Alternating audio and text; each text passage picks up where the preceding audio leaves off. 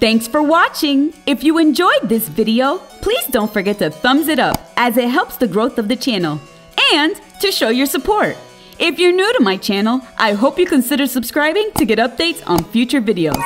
And remember, do it yourself. There's no need to cry.